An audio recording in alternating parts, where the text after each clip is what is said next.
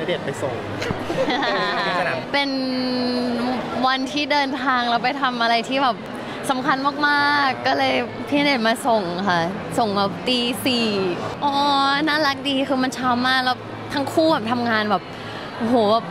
ไม่มีเวลาพักเลยจริง ๆ ก็รู้สึกดีใจ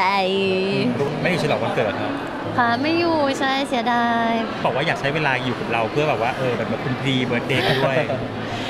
ก็ก็ใช่ค่ะ ก็เพราะว่าปีนไม่ได้อยู่ด้วยค่ะ อยู่อยู่นิวยอร์กก็เลยไม่ได้ไม่ได้เซเลบรตด้วยกัน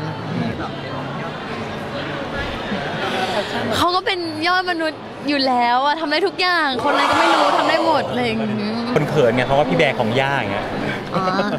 ก็จริง ๆ ก็อยากเขียนมาหลายปีแล้วค่ะ แต่ว่าเพิ่งเพิ่งแบบว่าคือเพิ่งเพิ่งแบบว่านั่งนั่งนั่งพิมพ์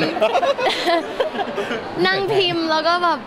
อ่า no ลบลบลบลบปีนี้ก็แบบนั่งพิมพ์แล้วก็มองแล้วก็มองตั้งนานแล้วก็โอเคเซนเขาอยากได้มามานานแล้ว ก็เห็นเขาพูดมานานแล้ว ก็เลย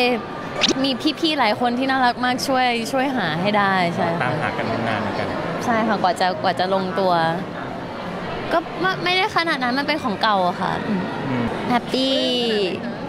ทำหน้าแบบทำหน้าแบบนี้ให้ได้ใจค่ะให้ได้ใจครั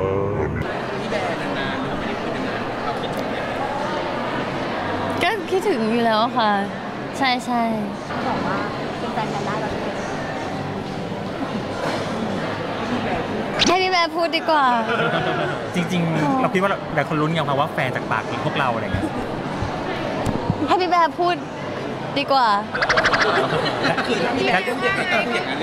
ใช่เอาเอาอืมโยนโยนเลยค่ะแล้วเราเรียกว่าอะไรดีคะของเรา เรียกว่าโยนนะคะโยนให้พี่เขาตอบ